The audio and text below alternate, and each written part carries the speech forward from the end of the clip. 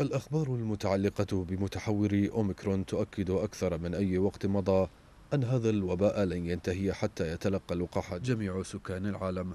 كلمات قالها الرئيس الأمريكي جو بايدن في محاولته إقناع الدول وشركات الأدوية بالتنازل عن حق الملكية الفكرية للقاحات المضادة لفيروس كورونا حتى يتسنى للمزيد من البلدان تصنيع اللقاحات محليا.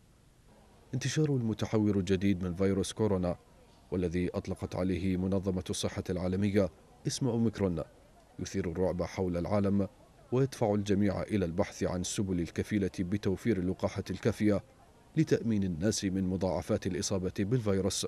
وبحسب تقرير نشرته صحيفة الظهر الأمريكية فإن انعدام المساواة في اللقاحات بين دول العالم بات أمرا واضحا إذ أن بعض الدول الغنية لقحت مواطنيها بالكامل بينما لم يتعد معدل التطعيم في قارة إفريقيا ثمانية بالمئة من سكانها.